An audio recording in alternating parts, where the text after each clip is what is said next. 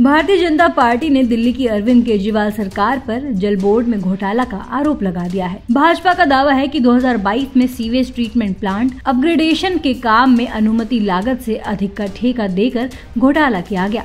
भाजपा ने दिल्ली के मुख्यमंत्री को भ्रष्टाचार का पर्याय और लूट खसोट का एक्सपर्ट बताया।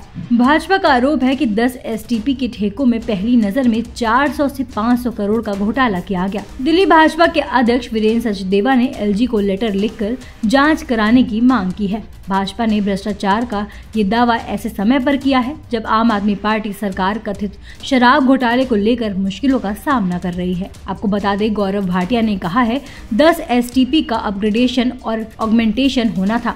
ये नियम है कि डीपीआर बनाना आवश्यक है। पहला सवाल ये है कि आपने कितने डीपीआर बनाए? दस बनवानी चाहिए थी, लेकिन दो ही बनवाई दो डीपीआर जहाँ अनुमति लागत बढ़ा दिया और सभी दस पर लागू कर दिया। कैटेगरी दो में अपग्रेडेशन और ऑगमेंटेशन दोनों होना था। एक साधारण व्यक्ति भी जान जाएगा कि केवल अपग्रेडेशन होना तो कॉस्ट कम करना होगा, और दोनों के लिए ज़्यादा। अरविंद केजरीवाल इतने बड़े घोटालेबाज हैं कि उन्होंने कैटेगरी दो का ही एस्टिमेटम कैटेगरी वन पर लागू कर दिया। उन्होंने कहा कि अपग्रेडेशन और ऑगमेंटेशन का कास्ट सब पर लगा दूँगा तो टेंडर की रकम बढ़ेगी और वसूली ज़्यादा हो पाएगी। ये तो केजरीवाल बताएँ कि कैटेगरी टू का प्लान कैटेगरी एक पर क्यों लगाया? वही भाजपा ने दावा किया कि नियम के खिलाफ जाकर सिंगल कोटेशन के बावजूद एस्टिमेट बनाने का ठेका दिया गया।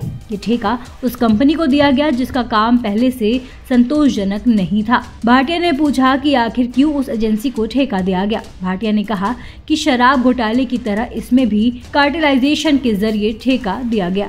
उन्होंने कहा कि एल वन यानी लोएस्ट बिडर यदि सौ रुपए कहता है तो ईमानदार सरकार सत्तर से अस्सी रुपए करके जनता के पैसे बचा लेती है। एल वन ने बिड पेश की तीन सौ बानवे करोड़ की, लेकिन अवार्ड दिया गया चार सौ आठ करोड़ का, जो खुद कह रहा था कि तीन सौ बावन करोड़ में काम करने के लिए तैयार हूँ, उसे केजरीवाल सरकार ने 408 करोड़ रुपए दे दिए। भाटिया ने कहा, पहली नज़र में इन 10 ठेके में 400 से 500 करोड़ रुपए का घोटाला किया गया।